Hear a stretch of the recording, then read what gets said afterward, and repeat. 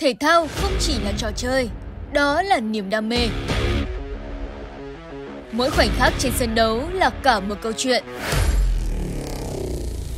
Bàn thắng và niềm vui, chúng tôi chia sẻ cùng bạn từng giây phút. Trải nghiệm đa dạng từ bóng đá đến tennis, từ cầu lông đến đua xe. Thông tin cập nhật liên tục và chính xác. Đừng bỏ lỡ, hẹn gặp bạn tại Thể thao 24 giờ.